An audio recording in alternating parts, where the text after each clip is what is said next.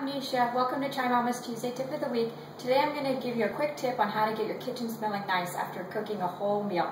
All you do is you take a lemon and you cut a little slice of lemon and you put it in a pie plate. You put it in the oven on 200 degrees for 20 minutes and your kitchen will smell nice and fresh. Have a great day.